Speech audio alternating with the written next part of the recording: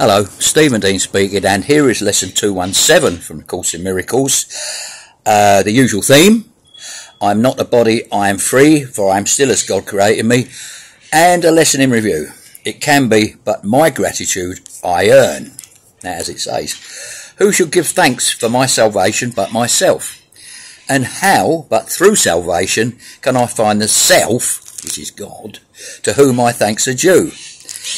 You find that self by realizing that your spirit within you is God, just as it is in everybody else. You see, we're powered by God. Like in your people in your dreams at night, no matter what's going on or what's in your dream at night, it's all powered by you. Just as us within the mind of God, the dreaming aspects that we are, are powered by Him. And He is our true self. Normally when we talk about ourselves, we talk about our ego, like my ego, for example, is called Steven Dean.